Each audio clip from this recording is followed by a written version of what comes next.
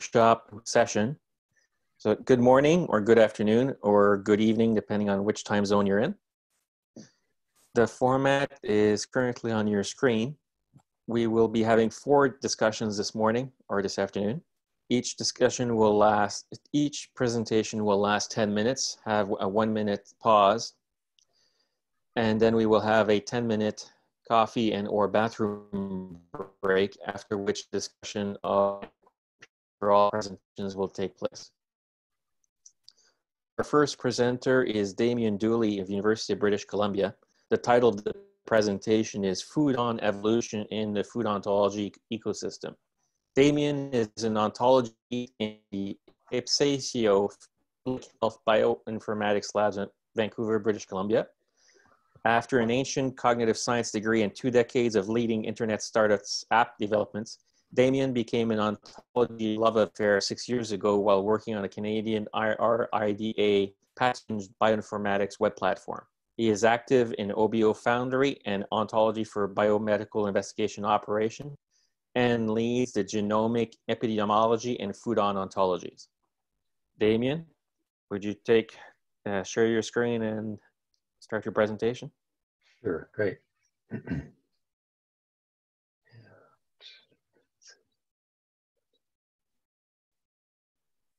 oh, wrong one. Just a sec. Uh, and one other thing, while I'm presenting, um, if audio is a problem, let me know. And uh, already I'm needing to find the share button. okay, here we go. Okay, yes, so thanks for the introduction, Robert. So I work out of the Hsiao Public Health Bioinformatics Lab uh, in Vancouver, British Columbia. And the I have a few people to thank for supporting us, SFU, Simon Fraser University, U.S. Department of Agriculture, uh, University of British Columbia, and Genome Canada, as well as our lab mates who are helping with curation of um, FoodOn and recent contributors. I'm here to talk about FoodOn and the evolution of this ontology in the last few years, uh, especially within this food ontology ecosystem that's uh, coming up in the um, in the Obo Foundry family of ontologies.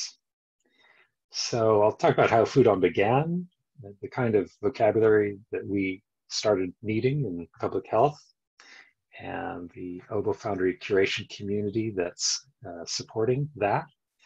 And I'll touch on a food product example and some tools and agency projects that FoodOn is involved in. So at the uh, at the lab, Hsiao Lab, we're involved in public health. More specifically, we started out in infectious disease, foodborne pathogens, and sequencing. And in that whole realm, uh, the activity is investigating outbreaks. And this 2011 E. coli uh, one was quite predominant in that way. Started in Germany. May 1st, uh, there was a real difficulty trying to figure out where this um, pathogen was uh, was located in the food system. Uh, so it took actually a few uh, over three weeks, few, up to a month, I think, and the whole epidemic lasted for two months to uh, locate the food sources. 4,000 people were ill, 47 fatalities. It ended up being pinpointed to Egyptian fenugreek seeds, possibly one single shipment. So obviously the fast and accurate detection of pathogens is critical, but the data problem around the language between the different agencies that are use uh, needing to trade information to do the trace forward and trace back is a real problem.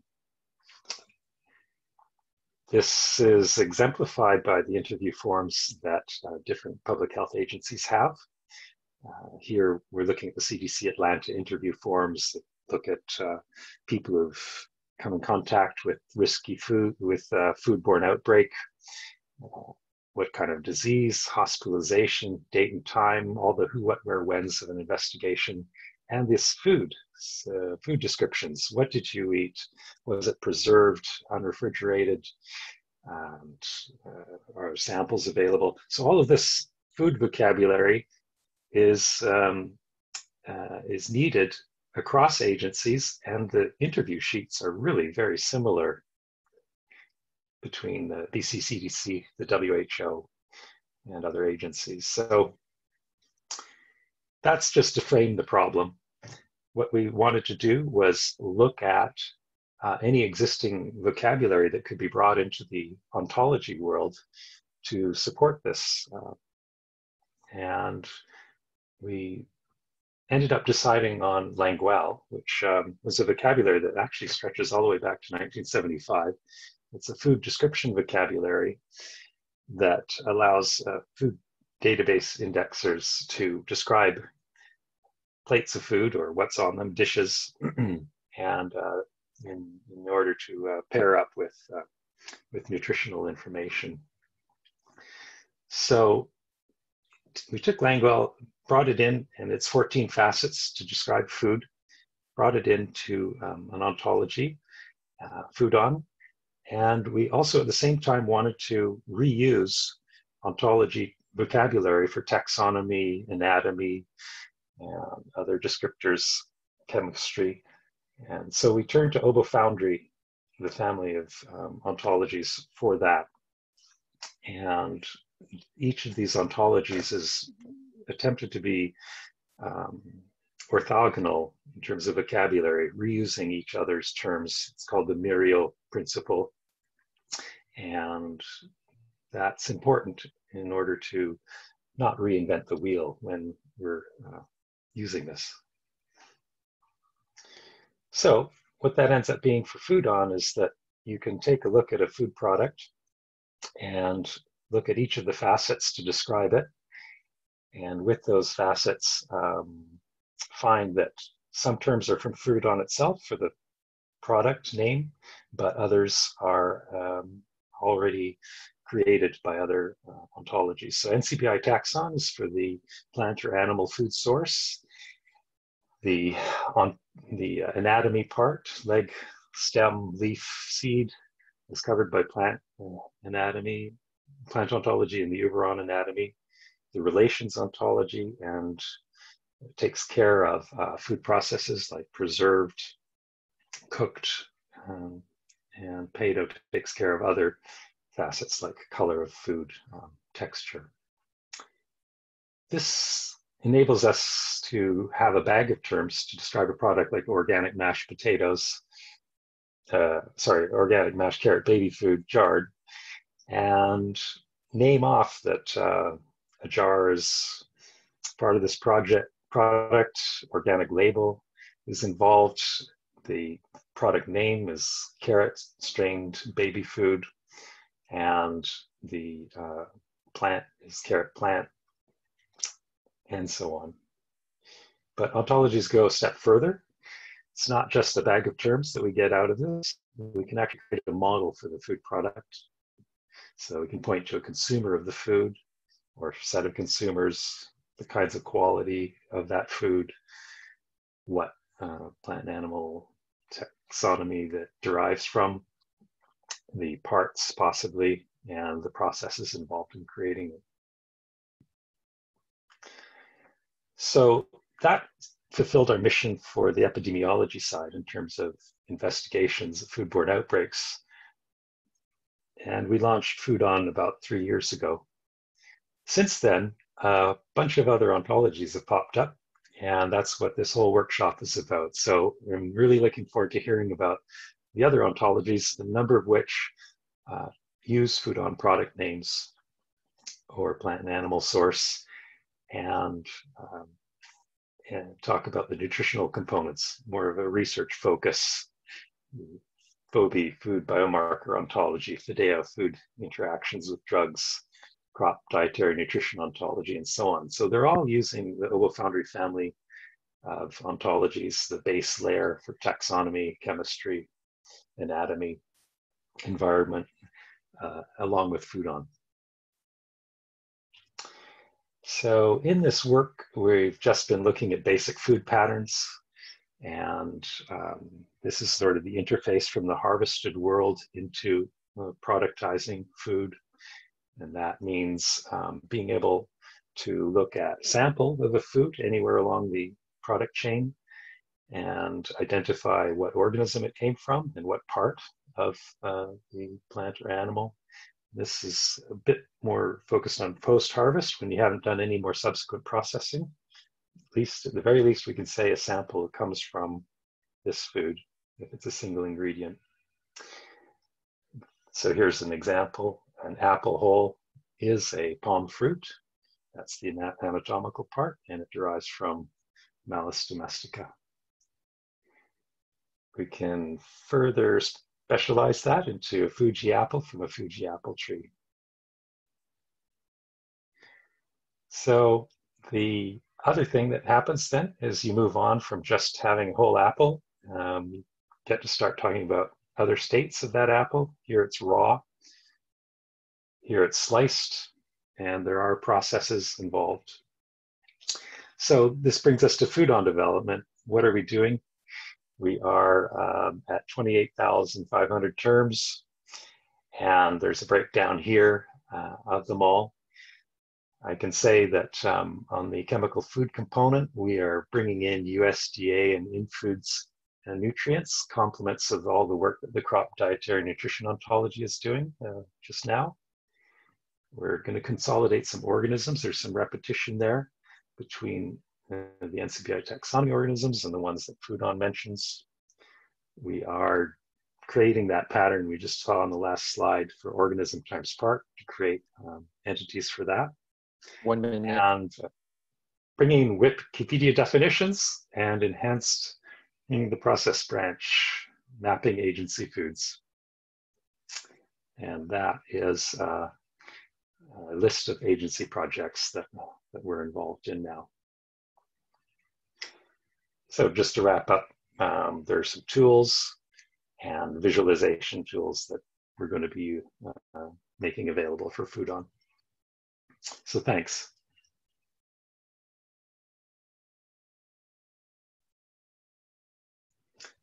And I'll stop sharing now.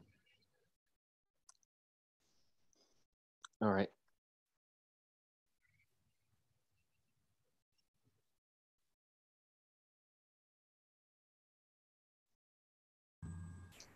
Our next presentation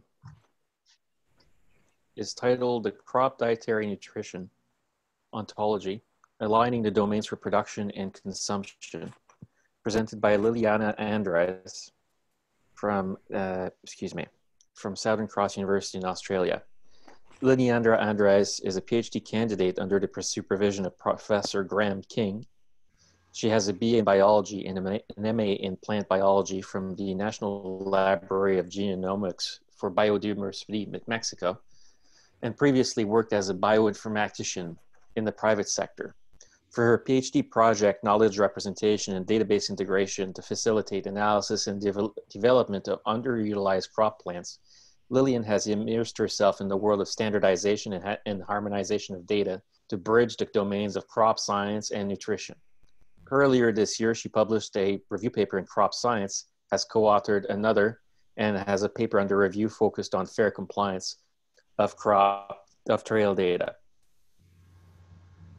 Lillian, would you take over? Yep. Uh, so just to be sure, you can see the first slide, right? We can see it perfectly. Okay, that's good. Um, hi, my name is Liliana Andres, and today I will be presenting my PhD uh, project. My supervisors are Professor Graham King and Dr. Ramil uh, Mauleon. The title of my talk is The Crop Dietary Nutrition Ontology, aligning the domains of uh, production and consumption. And uh, I would like to start mentioning that uh, meeting the challenge of um, nutritional security requires ongoing innovation particularly in managing um, dietary nutritional information for pre-breeding analysis, selection, and cultivation of specific food crops and uh, crop plant varieties or cultivars.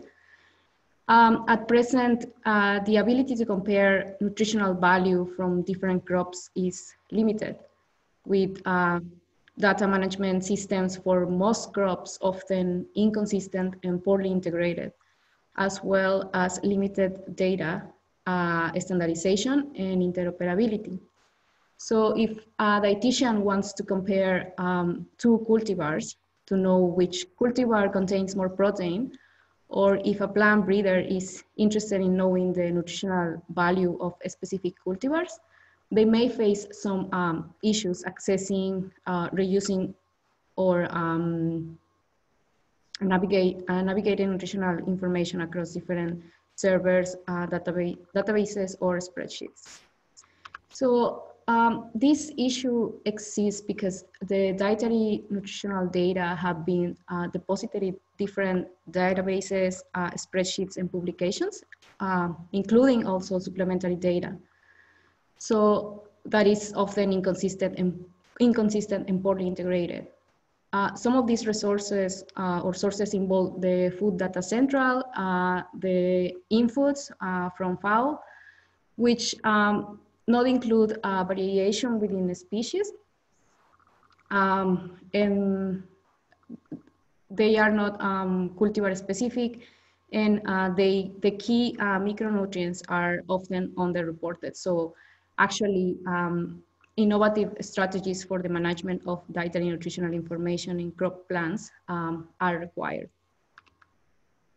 So um, we could say, no problem, let's use an existing ontology to associate and access the existing nutritional information. However, uh, we found that just a few ontologies provide uh, comprehensive nutritional representation of uh, comprehensive representation of dietary nutritional information, and most of them do not appear um, effect, efficiently managed, updated, or um, easily accessible. Um, also, some other ontologies lack of specificity in the tailored uh, subclassification of terms um, within classes or on the opposite, um, they also present an exhaustive level of granularity, such as ChEBI, uh, which contains around 140,000 terms associated with molecular entities and um, biosynthesis, which is actually great. Uh, we actually want um, that exhaustive uh, level of granularity, but there is um, actually more information on that, what is required for dietitians and breeders. So although ChEBI um, contains an exhaustive level of granularity across the classification of the chemical compounds, um, as we can see, for example, in this image, um, the, the, it represents um, a starting point um, to map or reuse semantically equivalent chemical or nutritional compounds to represent um, the existing dietary nutrition uh, information. So for this reason, we have proposed the development of the crop dietary nutritional ontology or CDNO. So the CDNO has been um, initially designed uh, with three major classes, which is the dietary nutritional component, dietary function, and analytical method. Um, with these specific classes, it is expected um, to generate a formal um, human and machine readable control vocabulary to navigate um, crop related nutritional information. So today I'm just gonna talk about the dietary nutritional component class,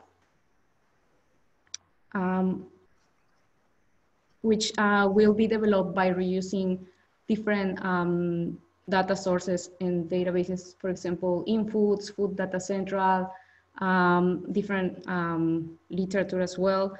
But um, one of the most important is um, in developing the, the, the CDNO will be the crop uh, dietary nutritional nutrition data uh, framework. So um, what is this uh, framework?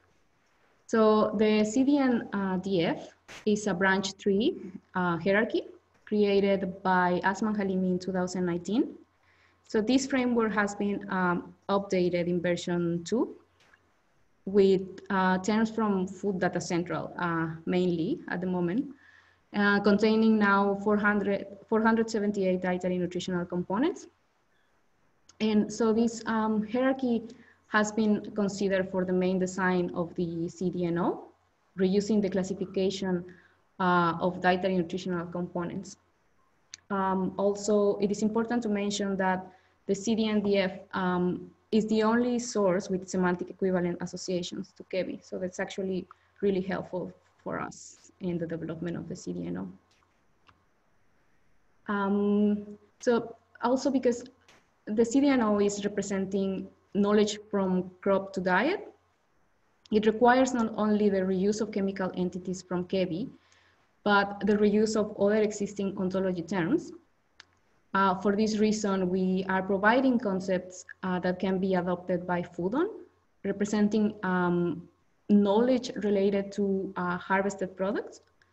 So for example, we can say um, that cereal grain um, being uh, harvested from wheat or a soy grain um, harvest from uh, soybean. So at the moment, uh, 58 terminologies uh, related to crops with their harvested products um, are being integrated by the food, uh, FoodOn team. And um, so following uh, an axiom provided by the PhD student, Kai Blumberg, member of the ENVO team, the CDNO axiom looks mostly like this. Um, so where the concentration of terminology, um, it's taken from uh, the PATO ontology. And in here is in some CHEBI or ChEBI glucose that is um, taken uh, from the ChEBI ontology. In the, uh, in the seed, and seed is taken by, from the plant ontology, derived from uh, Bambara groundnut. And this specific um, term will be also associated to the NCBI taxon or an NCBI, NCBI taxon ID. So um, in this way, we will have all the terminologies um, cross-reference. So the development of the CDNO is still in progress, but we are uh, expecting to release the OWL file at the end of December. So the CDNO will then be associated to real data initially uh, in CropStoreDB, a database that contains information related to phenotypic quality traits and nutritional information. Uh, but this will be for the reuse as well of plant breeders, researchers, nutritionists, and dietitians. So I just would like to thank my supervisors and collaborators for, um, for, their, uh, for their inputs and also the time invested in this project and to all of you for your time and maybe questions or interest. Thank you. Thank you, Lillian. We will not be taking questions at this time, mm -hmm. but we will do so in the afternoon after all the presentations.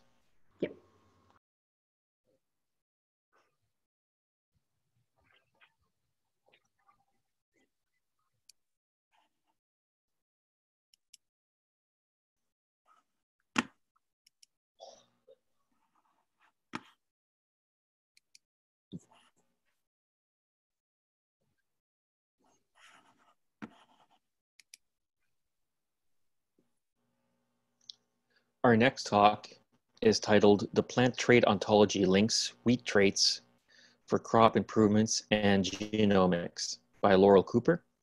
Laurel is the project coordinator and scientific curator with the Planteome Project, formerly the Plant Ontology Project, working primarily on developing reference ontologies for plant science and comparative bioinformatic analyses.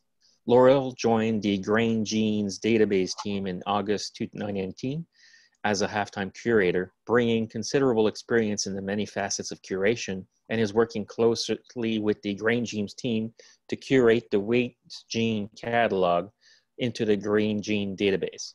Today, Laurel will show us how the plant trait ontology from the Planteome project facilitates data integration by linking plant genomics data at the Planteome with traits data at Grain Gene and the specific grain crop ontology. Laura? Great, thank you very much. And good morning, everyone from Smoky, Oregon. can you see my first slide? Yes, we can. Okay, great, great. So um, I'm not going to repeat the title because we've already seen that. So the goals of the Planteome project, um, I thought it'd be helpful to restate these. The, the Planteome, we aim to develop and maintain a network of re reference ontologies for plants, which link plant traits, phenotypes, gene expression, genomes, genetic diversity data from a very wide range of plant species. And today I'm going to be mostly focusing on wheat, but I want to highlight the fact that we do cover about 125 different plant species. And our goal is to align our reference ontologies with descriptors from species-specific vocabularies, which are useful for the breeding community. And this way we can link the genomics data with the breeding data. And our goal is to create mappings which are links to other ontologies and databases. So um, we just did a, we're just in the process of doing a new release for the Planteome, release version 4.0. And um, in this release, we have four basic, well, three basic reference ontologies developed by the Planteome for the plant ontology, which has already been mentioned here, um, the tr plant trait ontology, the TO, for the plant experimental conditions ontology, which is useful for describing um, experimental data. And we also host 11 species-specific crop ontologies developed by the Crop Ontology Project uh, um, with Elizabeth Arnaud. And they're listed here, cassava, lentil, maize, pigeon pea, potato, rice, sorghum, soybean, sweet potato, wheat, and yam. And so these are bringing in um, breeder traits and breeder variables that they're interested in using in their breeding programs. And we host a large amount of annotation data. we have about almost 20 million ontology-based annotations to about 3.1 million data objects, which are mostly genes and gene products, germplasm sources, and some QTLs and mutant data. So as I mentioned, this covers more than, I think about 124, 125 taxa, and we're pulling that data in from about 30 database sources. And the Planteome ontologies are used by approximately more than 40 major plant biology resources worldwide. So it's been widely adopted. Um, this diagram shows a diagram, or is a diagram of the suite of reference ontologies hosted at the Planteome. And you can see the yellow ones are ontologies um, developed in-house by the Planteome project. The blue ones are partner ontologies, uh, which I'm sure you guys are familiar with, the GO and um, ChEBI, which uh, Liliana mentioned. And it, um, this also sort of shows you the scope of the reference ontologies. Sorry. so it runs from a very broad granularity with the experimental conditions and ENVO down to single molecule. So the plant trait ontology consists of nine upper level categories, which um, encompasses a wide variety of traits that that you'll find in plants. Everything from biochemical traits, biological processes, morphology, sterility or, or fertility, yield, which of course is very important in crops, plant qualities, and, and also abiotic and biotic stresses. So the plant ontology has, or the plant trait ontology has about 1,600 terms with links to about 165,000 data objects in Planteome. So one of the things that the plant trait ontology does is it links um, common types of data from various species because in the plant world you can see that these this is, these are all six of these are examples of fruit color traits across various species and they all have different terminologies and different um, names that are in use in the literature and so on so by by annotating these all with our TO term or fruit color trait, we can gather that information and make comparisons across, across different species and um, investigate all these different kinds of data types. So these annotations are very important. So in addition to the reference ontologies, as I mentioned, we have 11, 11 species-specific ontologies developed by the crop ontology from the CGIAR centers around the world. And this is just an example of three of them. The wheat ontology was developed at CIMMYT, and there's been recently some input from the T3 project on the wheat ontology, which was really helpful. And with my role, new role at Gramene, or Grain Genes, I've been adding more terms to more terms to the ontology to describe traits that we're using in QTLs and so on. And so this is the wheat, wheat at CIMMYT, lentils were developed down at Carta, at Carta, and the rice ontology from IRRI.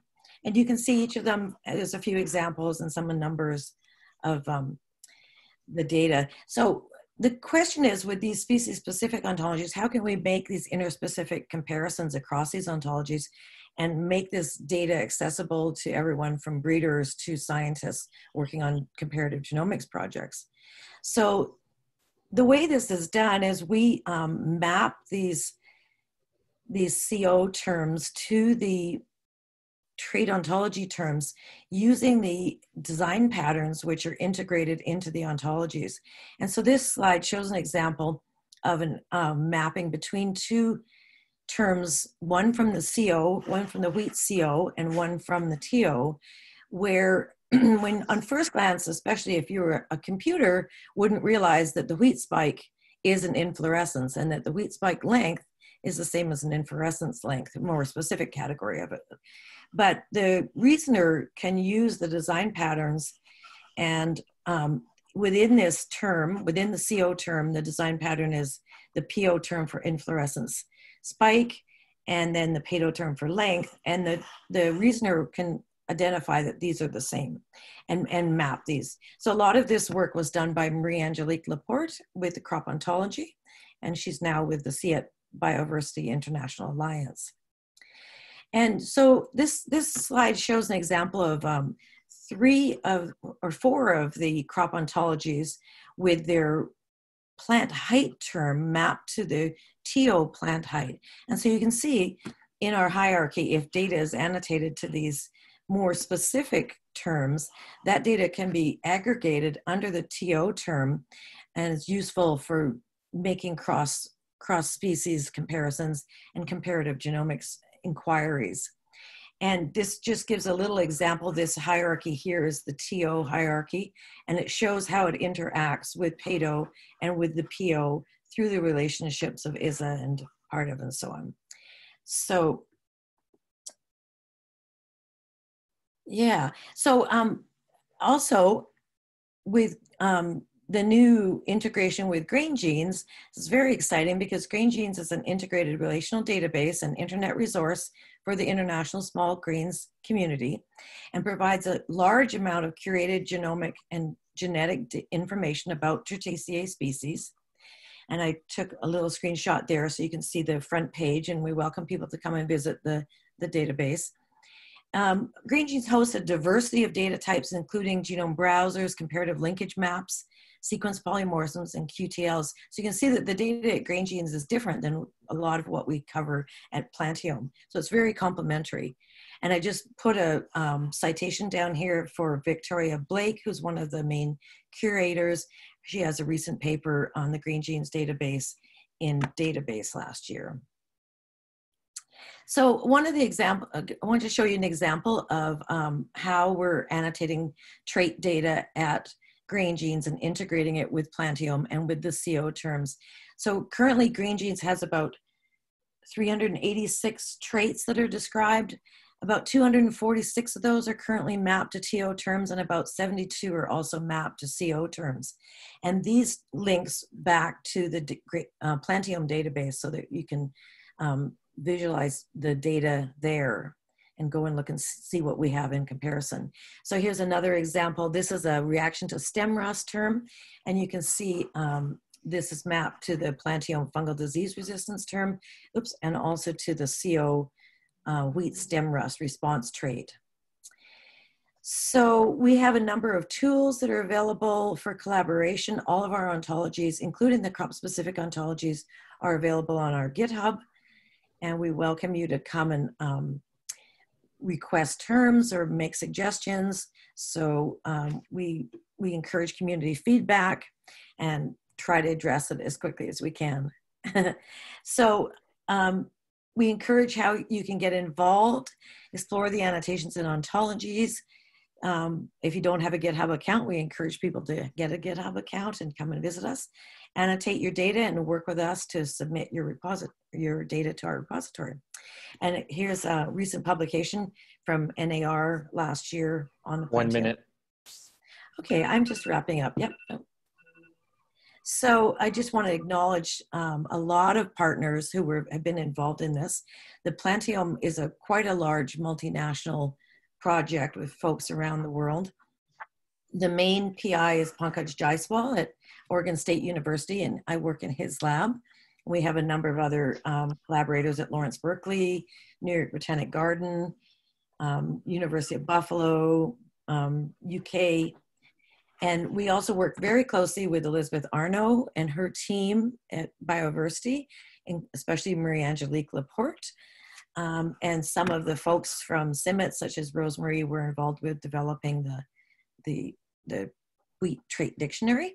And at GrainGenes, the lead PI at GrainGenes is Taner Sen, and the lead, the other lead curator that works really closely is with me is Vic Carollo Blake. So, and I just want to acknowledge the funding from NSF. So thank you very much. And I'll stop sharing now.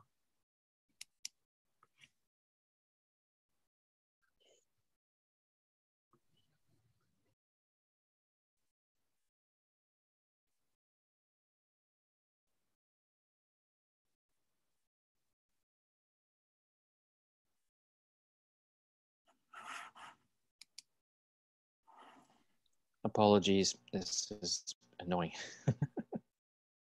Our next presentation is the agronomy ontology, a semantic layer to standardize agronomic data in farming system research and development by Céline Aubert.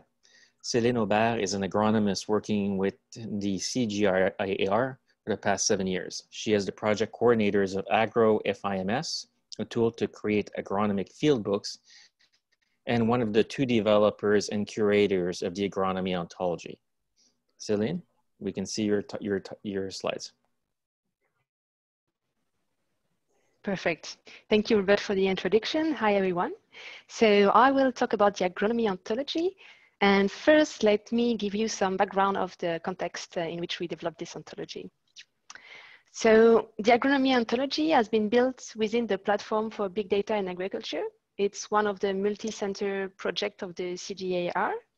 And this all started with questions from arising from researcher on how to improve agriculture in regions where they were working. To help the researcher answer these questions, GARDIAN has been built, and GARDIAN is a tool to discover agricultural data and publications across CGIAR centers and other uh, institutions, like the one you can see. And so researcher um, could find, explore, and even analyze the stats, and eventually share own data sets. But when we started to look in detail at the data sets uh, we could find in GARDIAN, we realized there were some discrepancies. So I will show you one of the data sets we were able to find in GARDIAN. So if you look in detail to this one, you can wonder what, what are these two columns, what these codes mean, and if you scroll at the end, this 8,000 uh, data set, language even is changing. So even the researcher could find the data, they could not really use it. And the question became how to use the data without spending months trying to understand it. So but basically how to get and how to make data fair. So to solve this issue, we started to create a suite of tools within the big data form is GARDIAN as a centerpiece. Then we built AgroFIMS. It's a web application that helps agronomists create fields that integrate semantics. So people can go in the field, collect data, and this data are already annotating, annotated using ontologies. But to make uh, this all working, we uh, needed uh, to integrate ontology within those tools. So um, when we started uh, to develop the agronomy ontology, there were already a lot of ontologies covering agronomic terms, like the soils uh, from ENVO or the chemicals from K, but there were big in terms on how to describe the and those information is critical to reuse the data because if you don't know how uh, the uh, experiment has been laid out in the in the field, how the crop has been grown, you may misinterpret part of the data. So that's why we created the agronomy ontology to provide the semantics needed to describe agricultural trial from the experimental condition to the agronomic practices and also uh, including implements, input, and crop measurements. So of course, we did not uh, wanted to reinvent the wheel. So uh, we started to look at what was already existing and uh, we gathered terms uh, that exist in other ontologies. Um, so here you can see the list of ontology we are importing terms from. So for example, we are using terms from ENVO, like the soil or uh, everything related to the environment of the experiment. The experiments. We also use ChEBI to describe fertilizer. Uh, from ENVO, we import food products that are also used as uh, fertilizer. We also use uh, PATO terms to create variables like the length, the weight, and to describe the plant, we use uh, plant ontology, trait ontology that Laurel just described, and also the crop ontology. So after gathering external terms, we focus on our efforts on describing terms that are specific to the agronomy ontology and that were not existing in those ontologies. So the entry point of agro is the agricultural experimental plot. So this plot can be either an entire field or just a part of this field. But basically, it's where the experiment, uh, experiment uh, is taking place. And this class plot is linked to different concepts like the variables that can be measured on that plot. So here we have the plot length, the plot width, the plot area. And then on this plot, activities uh, will happen. So here, for example, we have a planting process. So um, basically, it's what the farmer or the, the researcher is doing on this field. And for that kind of activities, we have built a second type of class that are called processes. And so, well, like this uh, planting process. And so basically a, a process is everything that is time bound and has a date. And for each process, you will find a list of what we call participants. And um, participant can be a, a tool or it can be also inputs, materials that you will uh, add to the field, like, like, fertilizer, pesticides. And it's also linked to different techniques to perform this process. So using this uh, process class, you can describe everything that is happening uh, in your field over time. So now I will deep dive into the ontology using a simplified view so for example, here we have an agricultural experiment following a design. Here it's a completely randomized design. And this agronomic experiment is occurring in an experimental plot that I just uh, mentioned before. And then the management some management practices happen. So the basically the processes. Here it's an agronomic fertilization process. And this process has participants. Here it's the, the implement of the tool. It's a broadcast spreader. And also this process is applying some uh, inputs. Here it's limestone. And you can see that this term is not from the agronomy ontology, it's coming from ENVO. And what is important to know about uh, the process, what, what is important to know in this process is how much limestone uh, we'll need to add to and so for that, um, we need to create organic fertilizer amount. And to create this term, we need to uh, import the term uh, PATO amount, and we also needed, need to link it to the kilogram per hectare term from the unit ontology. And so this is how we link agronomic specific terms to external uh, term. So here is a quick overview of the terms that you can find in the in agro. So you will find term about the agronomic, uh, sorry, experiment.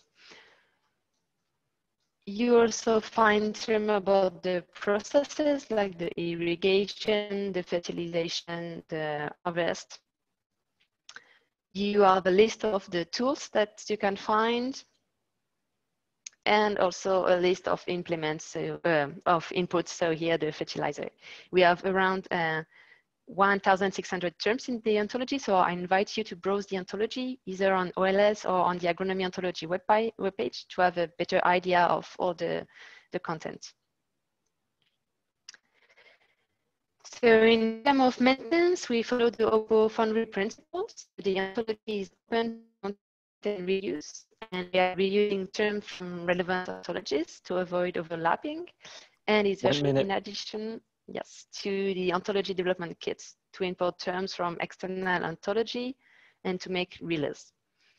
And the ontology is published in GitHub, where you can find the issue tracker and ask for new term. We always uh, welcome feedback and uh, we are happy to take uh, yes new new suggestions. And so finally, I would like to thank all the people that have contributed to Agro, and it was extremely valuable. And thank you for your attention. And I hope now you have a better idea of what you can find in the agronomy ontology and how it's linked to the other ontologies. Thank you. Thank you, Celine. We now have a break we will be reconvening at 1410 UTC in about 10 minutes. Please stretch your limb, get a cup of coffee, have a bathroom break, and bring your questions, comments, and conversations. Thank you.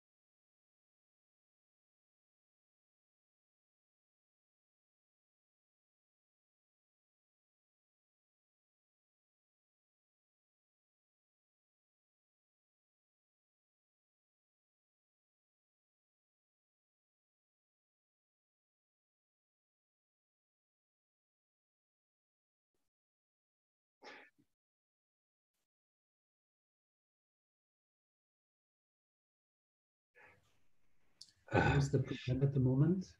It's uh, we're on a break uh, oh, for about oh, yeah. Okay. Uh, okay, then uh, then fine. You can pause the recording if you want, or just let it. Ah, right. People want to ask. It's also listed in the chat. Uh, if you agree, I'm just going to open up with a direct question to Damion. So one of the questions that I have is within FoodOn, you have a crop, you have prepared products, which is, let's for example, say an omelet, and then you'll have a product, which is perhaps pancakes mix that you'll buy from the store. Uh, are there any corner cases where those there's a collision between these three different things, and there there are fundamental incompatibilities that you haven't been able to address?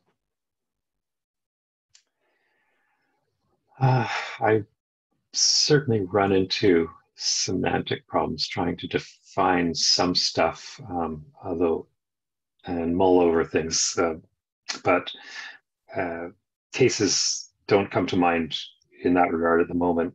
Um, what I can say is the food products, um, there, has been a little bit of a change in the modeling. Um, we have a, uh, a single component, basically, uh, organism food product branch, which is supposed to just have the um, uh, foods that are almost not at all processed or are minimally processed, but just contain one one food item. The, the, the, problematic area is um, that we also want to have a multi-component food area that has more than one ingredient. And that's kind of easier when you've got um, like lasagna that clearly has different ingredients. But if you have a can of uh, beans, um, does it is it a multi-component food? Well, it has salt in it um, and it has water added to it. So is that enough to make it a multi-component food? We're kind of lofting a little bit there, but being uh, migrating a number of foods over to the multi-component area and perhaps not something that has water added or salt, but um, vinegar.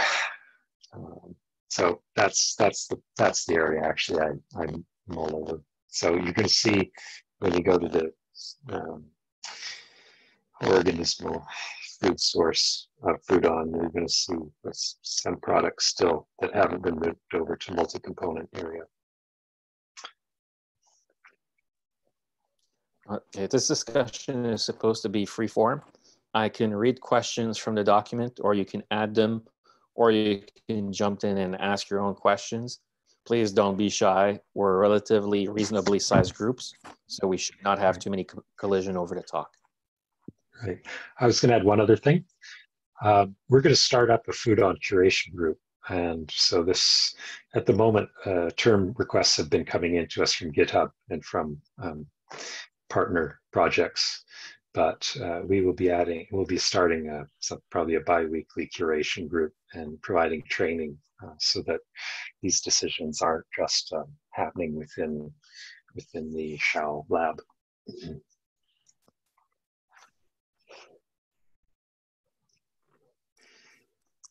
So moving along, uh, Damion, I have a question from GBM here. What do you think about using machine learning as a tool to expand technologies?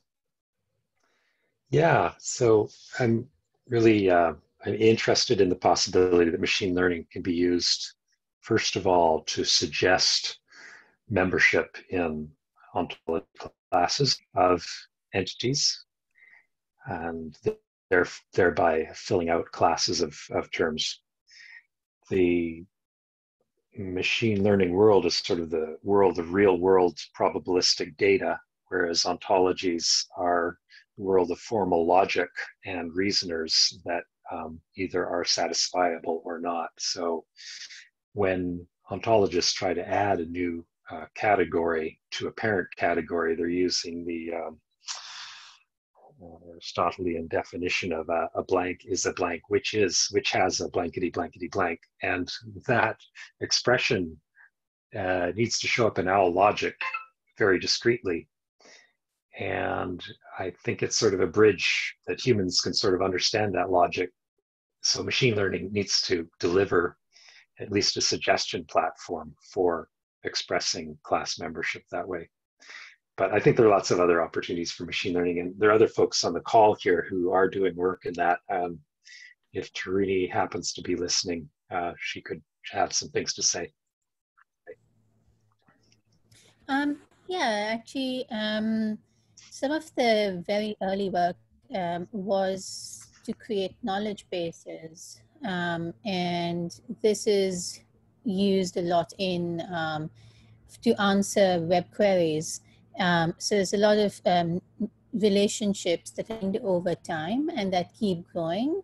And these have relation these are relations like you know who was the president of which country and um, stuff like that the kind of stuff that we sometimes search on. Um, and so and so machine uh, machine learning techniques for growing knowledge uh, bases started um, with this with web applications um, when it comes to extending these methods to domain ontologies um, one of the uh, there's about there's a few different problems. One of them is having access to text corpuses that you can learn certain relationships from like um, you know oranges of fruit.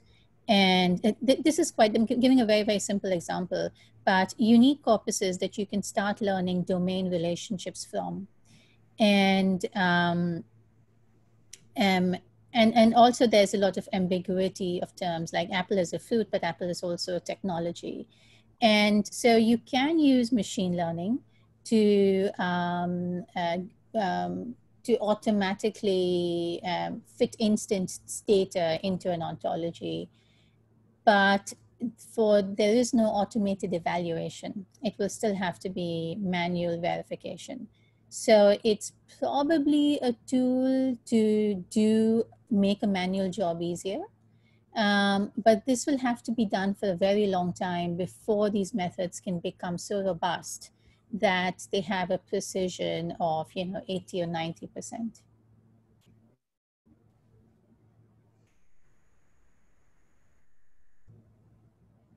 So that's that's all I have to say. So it is possible, but it is a growing field, um, and human evaluation is still necessary. Do we have anyone else on the call who's uh, who's been uh, experimenting with machine learning and ontology uh, and data set? Especially, I, I guess, if uh, there's one other thing, which is um, uh, the fair data folks have been outing um, a. Uh, I can drop a, a, link to a video about this. They've been touting a nano publication uh, format for expressing data that's for or against some hypothesis. And so that's the other area I'm interested in. Um, say we've tagged uh, data sets with food related terms. Can we now use machine learning to go out and find uh, hypothesis and evidence supporting or denying them? Um, so I, I sort of view the ontologist's role, if not, if machine learning isn't helping ontologists actually uh, provide the lexicon for data description, then perhaps machine learning is uh, still helping us cope with the volume of data and using hypothesis um, testing engines to um, to look at this these nano publications that are uh, encapsulating the, the, data sets out there in food related um, food related data. Laurel, you've raised your hand. Please come up. Go ahead. Hi. Hi. I just wanted to um, make a comment on the machine learning. So the Planteome is, I, I didn't have time to cover this in our talk today, but the Planteome is actually working on a machine learning project currently where um, we're working with a, a group um, and training the computer to recognize leaf shapes. And so the idea is that um, we're going to bring in images of different plant leaves and hopefully the machine the the computer will be smart enough at that point after we get a big enough training set to recognize the types of leaves and hopefully categorize them. And our goal down the road for this is probably to be able to assess disease symptoms. So i think I'm not sure about expanding ontologies, but it's it's definitely a way to utilize ontologies, I believe. And you've raised your hand. Hi, yeah. So I was involved in a project that used machine learning to try to expand uh, ontologies. And it was a little bit of a, a frustrating experience, uh, actually. And I'm not sure if that was because of the, the technology or if it was because of the difficulty in finding postdocs with these sorts of technical skills. Um, you know, it's very hard to find people who can do this and who are willing to be a postdoc instead of just going to work for Google or something. So that was the, the first point of frustration. Um, the second is just getting the quality annotated training and test data. Uh, that yeah. sucked up so much of our project's time. Um, so, but I am a little bit of a glutton for punishment. So I'm willing to maybe give it another try if we if uh, we can avoid some of the pitfalls that my other project had.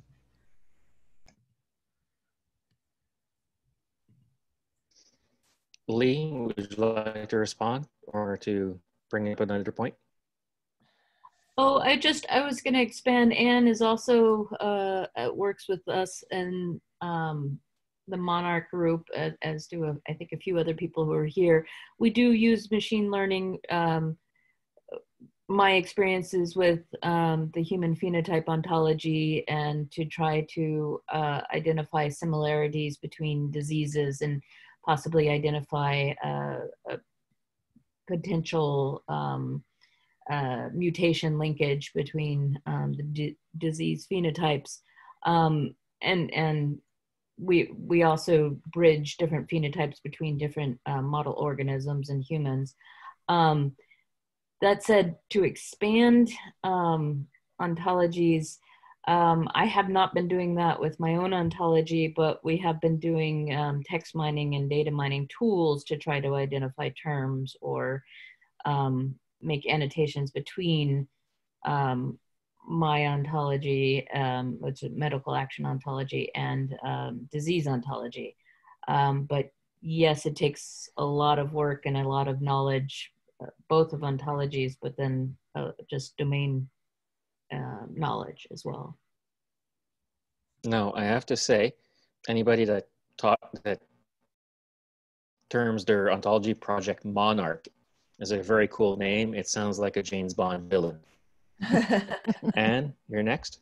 Yeah, so I just as a point of clarification, the project that I was talking about was about uh, using machine learning to read text in order to expand ontologies, whereas the, the machine learning that Leigh was just talking about is, is more about looking at other ontologies and other types of structured data to expand um, other ontologies. Um, so I feel like that, while it's still a lot of work and still requires some degree of checking to make sure things went right, it was is far more tractable than the the NLP solutions that we were trying to come up with.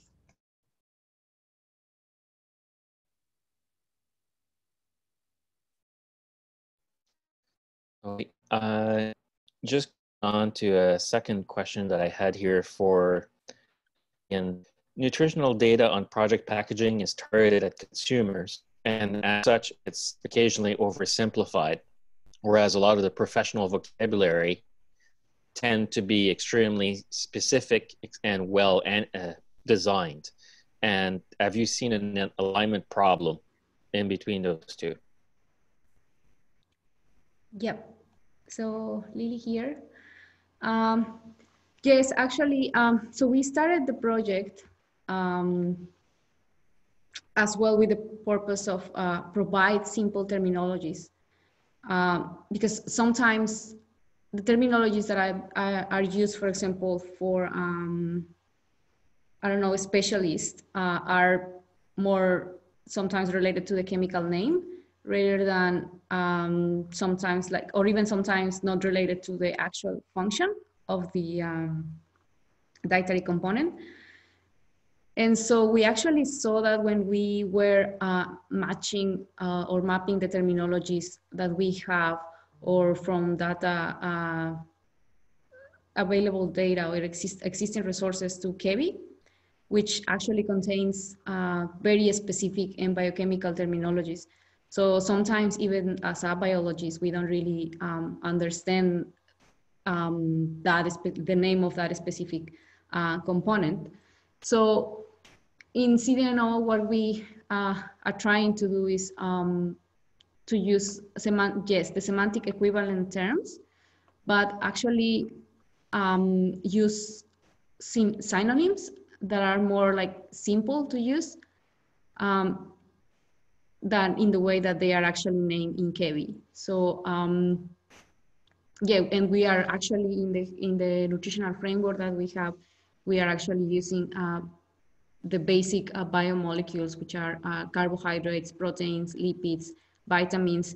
Um, so with the actual simple terms, so we actually can map, for example, just total carbohydrates, total proteins, or total lipids, uh, which is what uh, is actually required in um, in packages or um, or yeah, like um, different um, that are targeted more for like consumers rather than just nutritionists or, for example, um, I don't know, breeders uh, that can probably know a little bit more about what they are looking for, as well for secondary metabolites that can be added as well.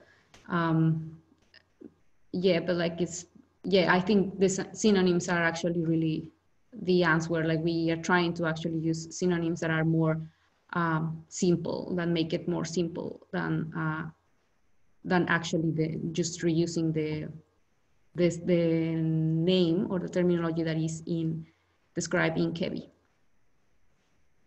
Uh -huh. I don't know. Um, yeah, I think that's my answer.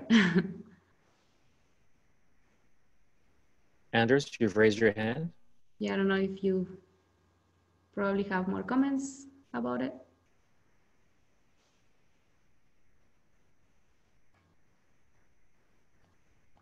All right, Anders? Yes, sorry. Uh, I'm from the food composition world. And in the food composition world, we could not use ChEBI because most nutrients are not chemical entities. They are, they are mixtures of chemical components. Furthermore, the nutrients in foods are or the amount of nutrients you find in foods is dependent on the method of analysis in many cases. And therefore, you need to have both the nutrient name and the method it was determined with in order to have a good uh, value, if you can, uh, or good documentation. So in in the in the European and in the actually in the world uh, food of food composition data, we use either INFOODS uh, tag names or in food uh, component identifiers, or uh, the similar EuroFIR uh, component identifiers, which we have defined in Europe for the nutrients. And the difference between INFOODS and EuroFIR component identifiers is that INFOODS include the method of analysis in their tag names, whereas we keep the method of analysis and nutrient apart in the EuroFIR thesauri. Yeah. Mm, so I think what we are trying to do is actually just reuse the simple terminology from um, but then trying to uh, create a specific action, action that can actually help us to describe in a better way the um, the concept that we are trying to um, to represent. So it's not only it's just about the nutrient, but it's also like about the whole axiom that is um, that we are that we are actually creating. Uh, but as I mentioned before, uh, we also have some, uh, and like I, I think I agree with you. Like it can be as well depending on like how, which method do, do you use. So that's why we uh, initially were trying to create three different classes for the CDNO. So it's so it was um, the nutritional composition, uh, dietary function, and analytical method. So um, yeah, so so I think will be also like just used in the uh, in another class that will help um, to relate and represent that knowledge and that are actually um, that can be represented together with the function and the method um, as well. I'll note that the CDNO folks have been making some effort to map over uh, the nutrients to the INFOODS tags that appear to be um, uh, the appropriate link.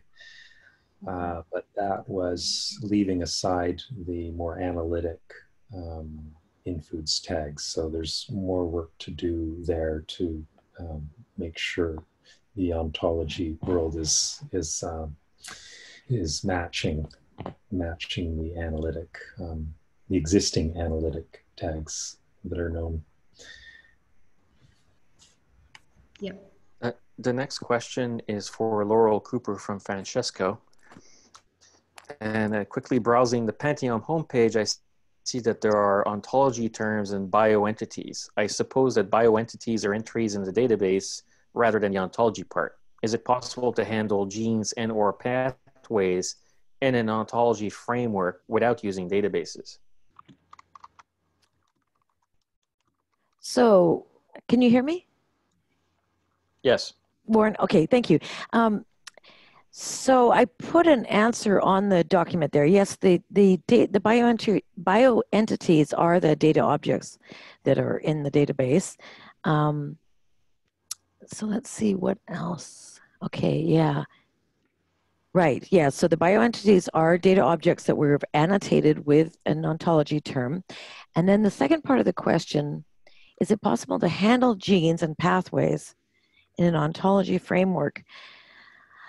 Um, I'm I'm not sure about how that would work if you um, I think behind most of these these platforms there is some sort of a database. There's lots of different kinds of databases. Um, so, and I'm not sure exactly what you mean by handle. Does that mean annotate them? Um, because of course, you know, we can, you can tag, you can tag data objects with ontology terms. Um, and I, I, guess they could be in, imported, these entities could be imported into the ontology as, as um, instances but I don't know if that's really the best way to deal with them. And I think there was actually a, a question above this too um, from our HW. Yeah, that's me. I was oh, trying. Oh, that's you. generate just leaving Francesco take the stage.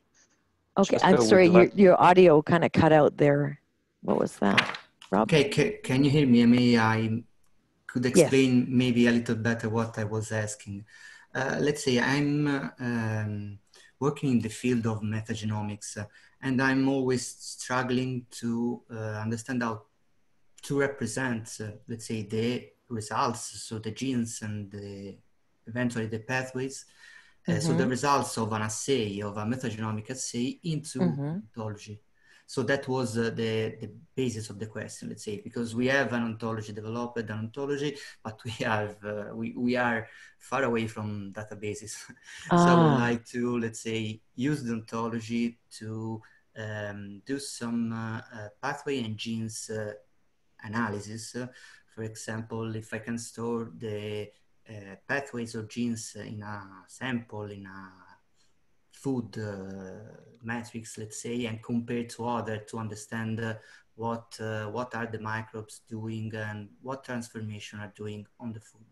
This is, let's say, the what's behind the question. I see. I see. Yeah. Um, perhaps other folks on the call have some experience in dealing with this. Um, perhaps integrating the the data objects right in the ontology as an instance, or anyone else would like to comment on that? Uh, so I can certainly rant about that topic. uh, that one of my concerns about the a lot of ontologies out there is that we've created an ontology. There is no instance data, and everybody walks away mission accomplished. But there is a second problem, which is to say, here's we have a re- we have a representation of a logical universe in an ontology. Now, how do we fit instance data from the field into it? Right. And that's a secondary problem that somebody needs to really document. I don't think that we're doing as good of a job generally as we should be in order to make this usable from a field perspective. It's okay to disagree with me, folks. I'm just a chair. yeah, that's all right. I appreciate your comment. Uh, can I, I'll just chime in. This is Ramona uh, Walls.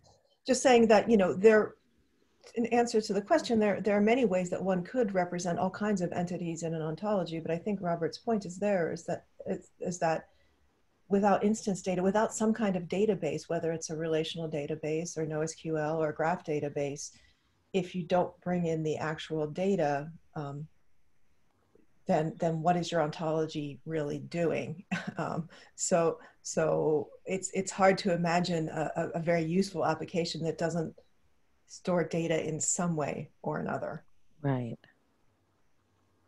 And, and the way that the Planteome does it is one very, very useful way of doing it. It's very similar to the way that the gene ontology does it, but there are, of course, dozens of other ways that it can be done as well.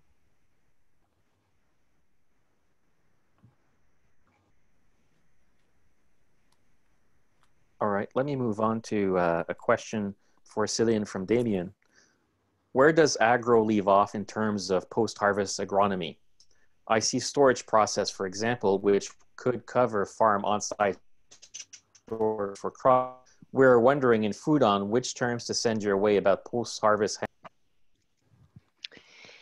Yeah, yeah, that's a good question, Damion. Um, so yes, basically it's defining boundaries of the agronomy ontology and, and defining boundaries of the agronomy domain where where do we stop? So um, we have built AgrO the agronomy ontology with the view of the researchers. So basically, the experiment stopped after the harvest, and then there is the processing of the the harvest product to analyze it.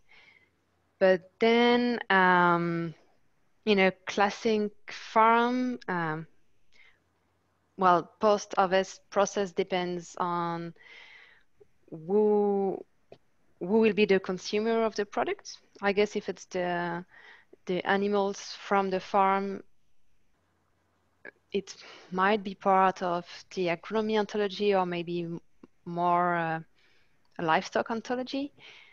But then it's yeah, it's also a matter of defining when the food processing uh, starts. So, um, uh, well, maybe um, Medha, you want to add uh, something to, to my answer? Sure. I mean, I think, um, hi, everybody. This is this is Medha, and I work with um, Céline on, on this project. Um, and I am an agronomist, so I, I kind of take look at this from the researcher point of view as well as, as a tool that will um, you know that that's making use of the standards that we need to make use of. Uh, but I think Celine covered it pretty well. What I, I was just looking at the document uh, and and seeing that you have uh, drying, storage, and then you have processing and primary processing, and it's not clear to me what you mean. To me, when I think about uh, processing and where the agronomy ontology might end, I would see, for instance, if you're talking about a cereal like rice or wheat, um, I would and the the ontology with with the the actual uh, threshing um, and and and you know talk a little bit about about the storage of of of, of the of the threshed product for instance in that case.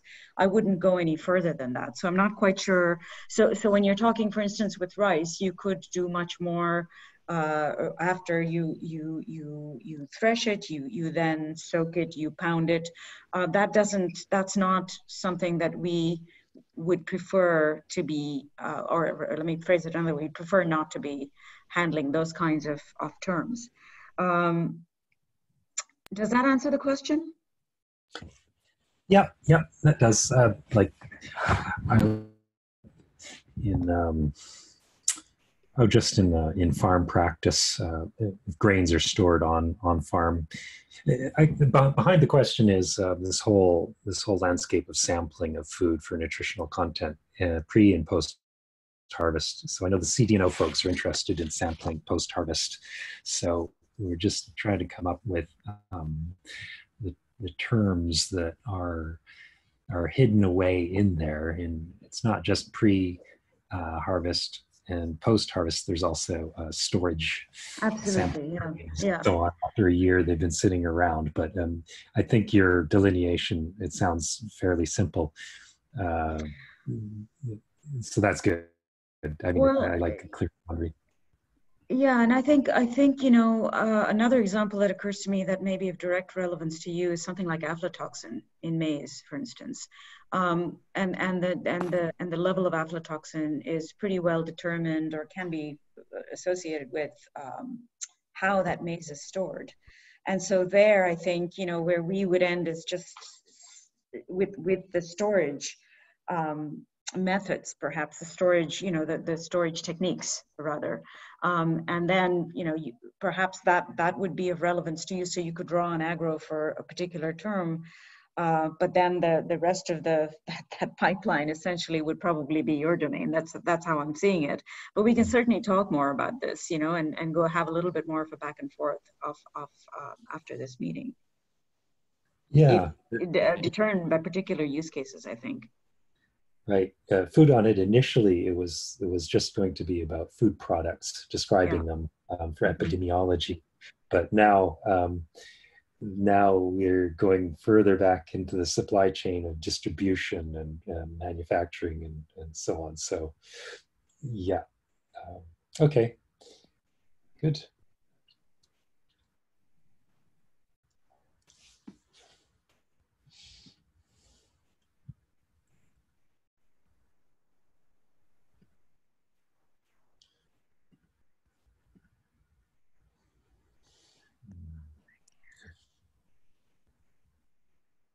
If you're talking, Warren, you're muted.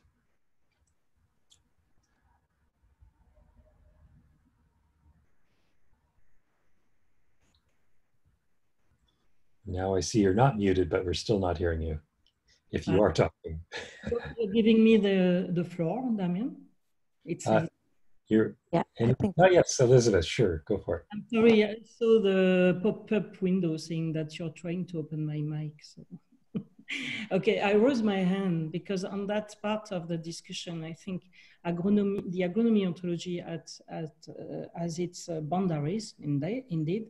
Uh, what I wanted just to mention is the post-harvest qualities uh, is are very important for also the, the crop improvement. So in the crop ontology, you can find some description of the, uh, you know, uh, life, uh, shelf life, that, uh, also some qualities for processing into food products. Of course, we are targeting more uh, a certain type of products related to our research in tropical and subtropical area, but we have per crop a list of quality traits which encompass some of the post-harvest traits and the, the, processing traits.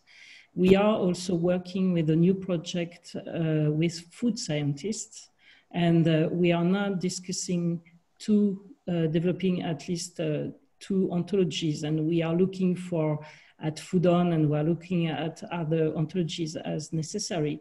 And one is to describe the value chain you just have on your, on your uh, drawing uh, and have a description of what we call the market segment. So the, the farmers, the pr local processors, industrial processors, traders, consumers. And so we would like to have a, a clear definition of those market segments and be able to link that back to, to the preferred trade per um, uh, value chain stages you have in, in the drawing uh, on, in this document. So in fact, it's a complementary work we are launching at the moment. It's very, uh, very new, so we are not very far. And we are also collecting processing techniques for those food products. So we are moving out from the crop itself and we are now just trying to find ways of describing the food products for this type of crops. Okay. That brings up one other point, which is um, I can't remember whether it was AgrO or crop. I was looking at traits um, to describe a crop by, but it wasn't an experimental plot. Um, it was actually just, you know, it would be in the in the course of a regular farm. Um, but the the sense of experiment, agricultural experiment, was sort of baked into a lot of the terms. And so I was wondering if you see um, a need to have a parallel vocabulary for regular farming practice um, that's outside of um, the experimental context. Mm-hmm. The thing is, it's still actually just describing all the same kind of um, uh, traits. It's or um, uh, sorry treatments. Uh, mm. It's just that the treatment itself wasn't done in an experimental context. Mm. so something to consider, and, and maybe I'll follow up with you. I I, I just I didn't want to have to have a whole parallel set of, um, of terms that were kind of talking about exactly the same thing, but outside of the experimental context. Yeah, we, we are facing the same, uh, uh, yeah, the same issue with when, when we are dealing with data coming from uh, consumer surveys. It's not mm. really experimental, it's more collecting what, what the answers are. So it's mm. outside the real experiment or uh, with any treatment. So mm. same kind of, yeah. Mm. So I think we, we could discuss this with FoodOn at least. So if we start de, de, defining and describing our food products, we, we are aligned with what you have at least, or we connect. That would be. Hmm. Okay. And I presume CDNO uh, will be a factor too. If, if uh, well, it depends. Yeah. Okay. Well, we'll take more. Uh, continue this uh, offline. Thanks. Okay. And uh, so we are, I think, at the bottom of the question list. Robert, do you have anything else to, um, to talk about? Otherwise, we should open it to the floor to anyone else who's um,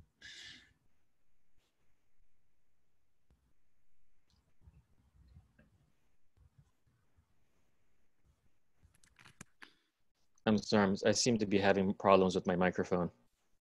Mm -hmm. We hear you now last comment that I'd like to make uh, to this discussion is that the delineation between the farm and the processing is very important in that a lot of on-farm cleaning gets done of the of the crop and it's not uncommon to have 10 or 20 percent of your harvest be uh, just be stone and other non-crop elements so from the agronomy perspective if you're trying to do yield analysis that crop, initial crop cleaning is very important because you're losing a lot of your what you think is your yield, but is actually non-consumables. And from going to the food product, that influences a lot of quality of the crop that's being put into that food processing, and what additional uh, processing is going to be done to it to clean it up. Yeah, I can actually um, echo there. So Graham King of Southern Cross University uh, told me uh, what to somebody who does not know agronomy was kind of shocking, which is that there are a number of farms where 30% uh, of the carrot crop is actually left to uh, waste or compost right on the farm because um, it's not up to grade. So what I didn't really explore in FoodOn so far is this whole grading process, this on-farm grading, and then all of the other choices for grading all the way up to um, uh, industrial processing of food. And from a sustainability perspective, it sounds to me like we really need to develop or echo the existing language that's around that in, in ontology. Now, maybe that's not quite in FoodOn, or maybe it is because um, because uh, there isn't a, a, a curation group that's specialized in that in that particular area. And if that's the case, then FoodOn will take on those kind of terms. So that's the other reason I'm interested in this. All right. Uh, I believe we've exhausted all of the questions that are on paper here. Anybody in with another question which has not been written down?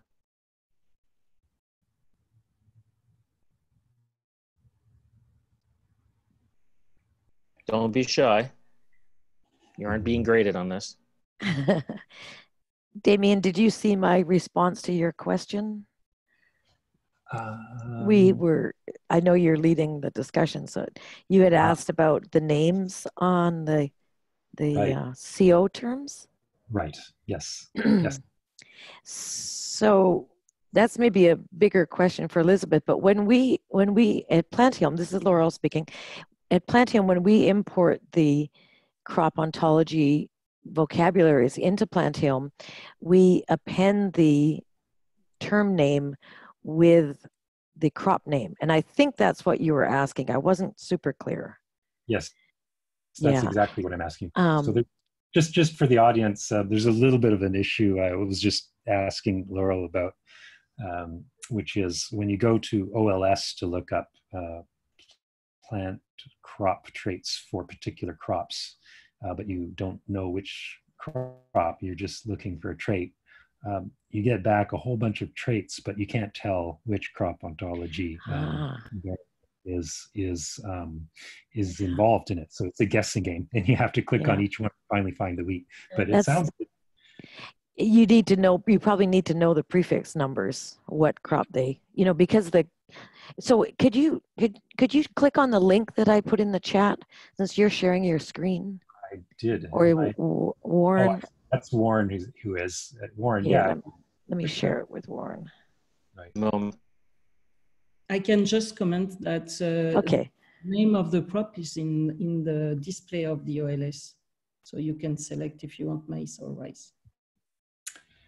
Um, so the issue was when people are searching in OLS, uh, we're confronted with um, this is this is more just a side tech discussion, but um, right it's kind of an interesting thing though it's it's interesting to hear how other people are viewing these things right. Yeah. Uh, Um, let me put this for everyone.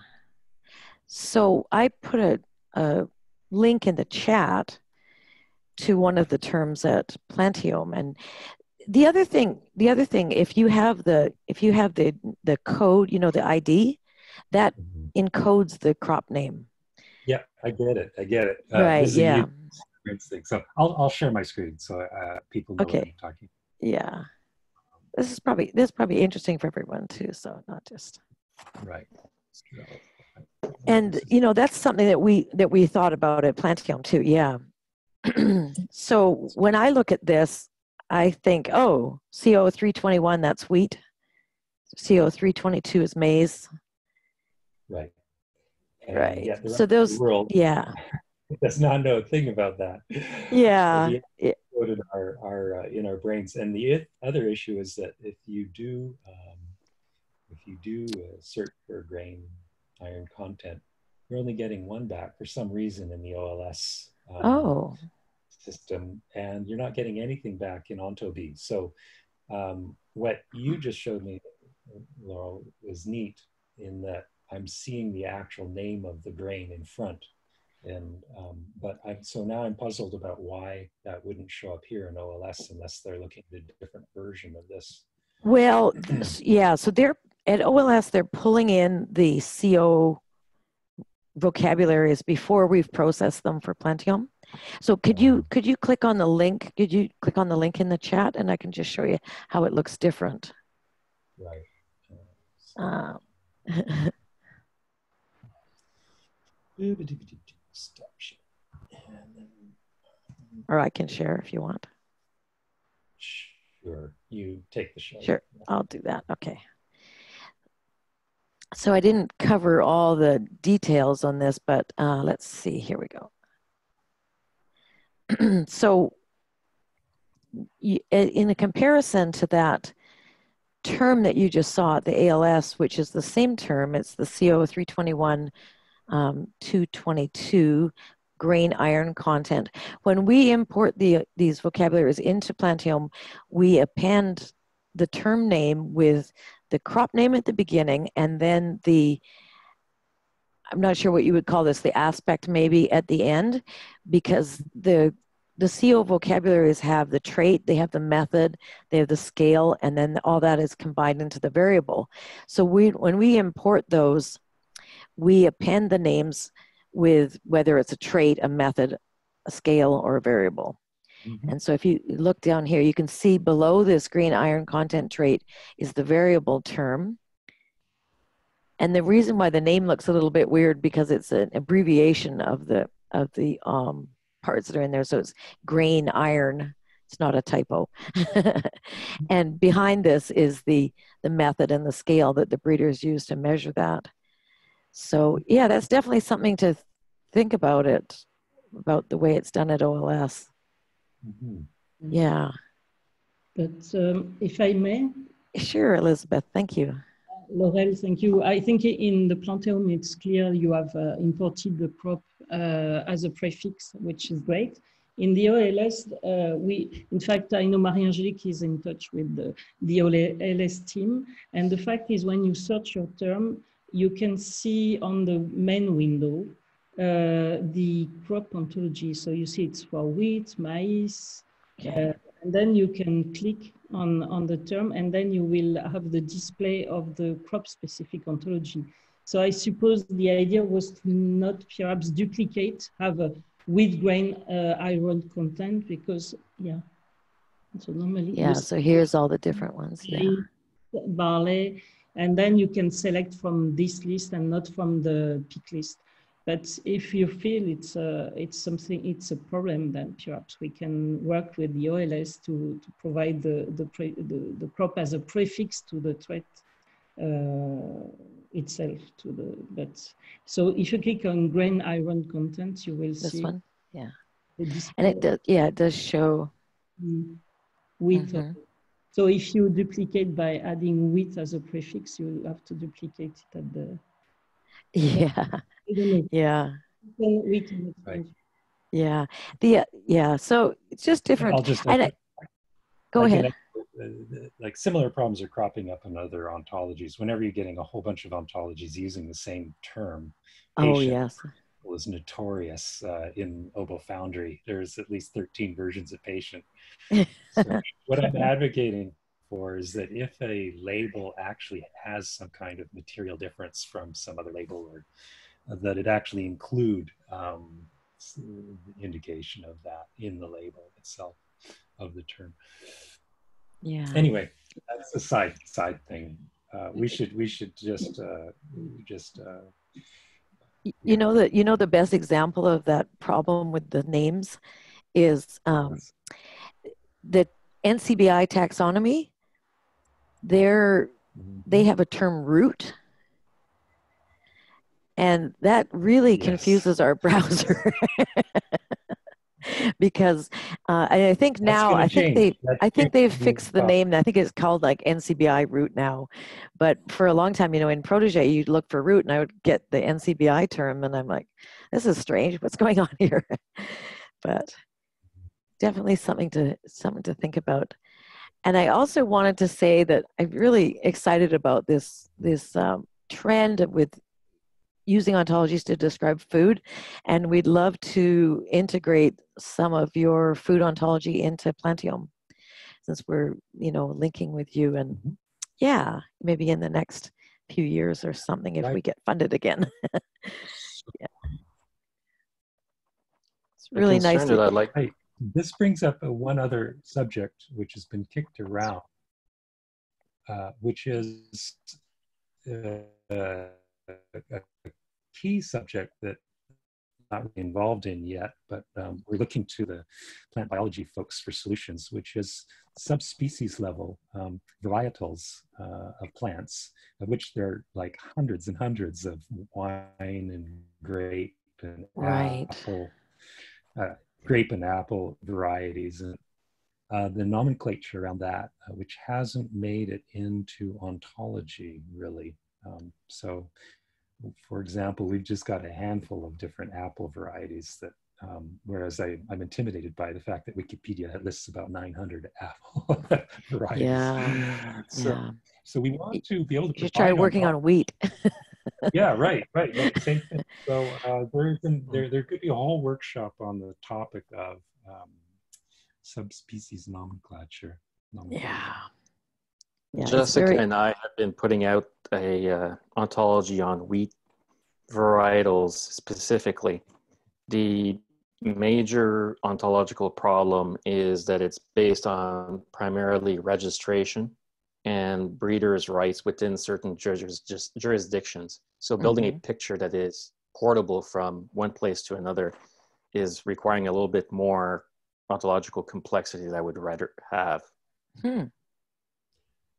Interesting. And so the uh, so, right now we do have a text mining project that is bootstrapping to try and create a lot more definitions for. Uh, well, nobody really knows what AAC Eurostar actually means, unless you're in specifically that business.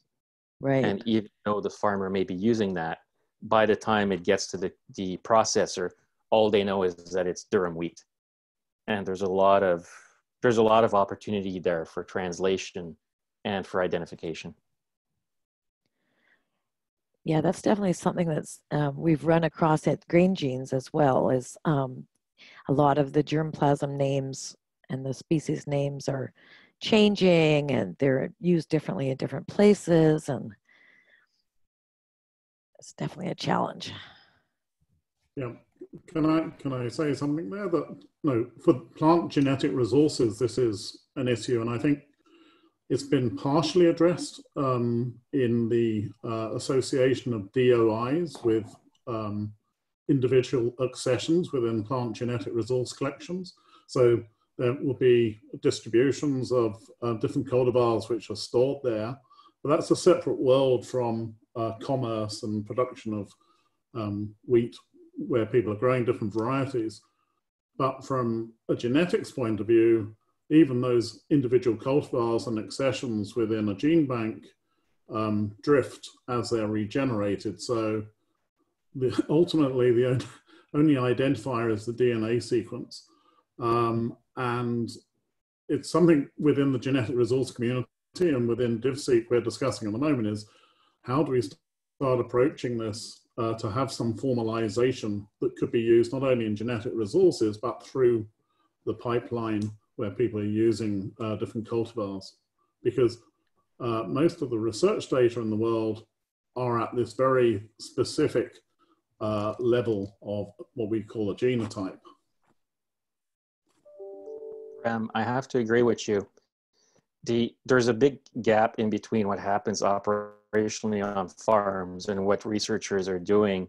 And at the end of the day, what happens is somebody says, you know, this bin contains X, and we take that for granted. And that gets completely separated from what it actually is. And it makes it very difficult to transport that real world data into a, the experimental and you know, statistical realm. So at some point, we need to find a way to crosswalk the data while accounting to the fact that when you have 1500 bushels of wheat, there's going to be one kernel that's not what you think it is. Sure.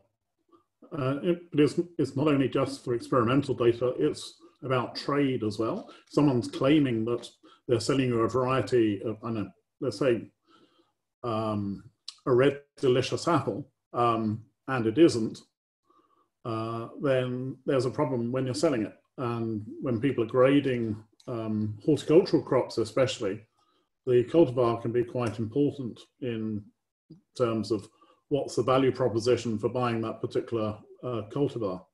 So being able to have a, a, method of verifying and tracing for traceability um, and some uh, structured vocabulary for and, and labels, uh, identifiers, unique identifiers, I think is something which would um, you know, transition between the world of food and consumption and production and research and breeding. Um, so if someone could, uh, groups of people could start to tackle that problem, I think there'd be uh, a huge benefits. So Graham, I don't want to steal Jessica's thunder. She will be talking about that in a few weeks, but I agree.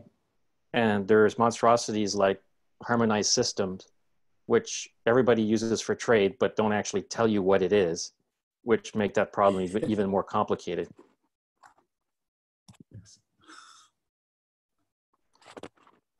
All right, so we have about five minutes before the, our uh, session ends. Would anybody like to bring up another topic before we close?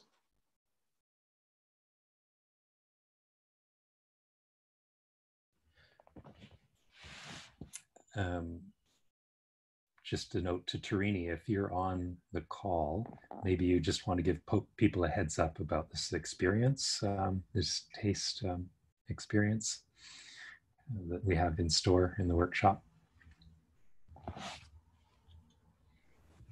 Um, sure. Sure. Uh, I think next week I'm going to talk about it a little bit more.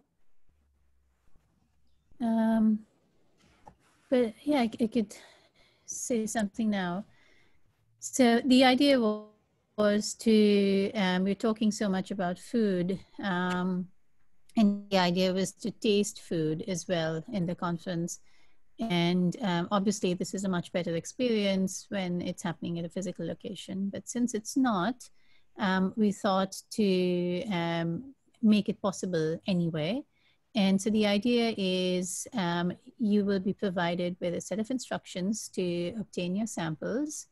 And um, and what's the, what the objective of this is to compare samples that have been made from different ingredients and they have different nutrition profiles and to associate your hedonistic response, which is whether you like it or not, or um, your sensory response, what the texture is, what the taste is, what the smell is.